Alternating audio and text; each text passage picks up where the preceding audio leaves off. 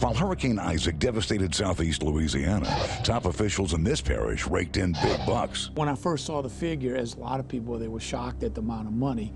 Kim Holden has a new cashing in on Isaac tonight on Fox 8 News at 10 p.m.